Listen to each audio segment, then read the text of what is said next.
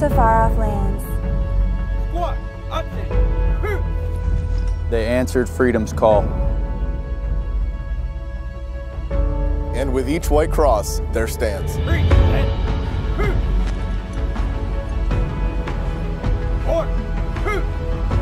A reminder to us all.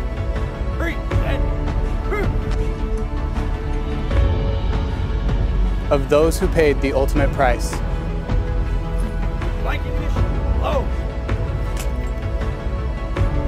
And in hallowed ground now lay. And so we honor their sacrifice.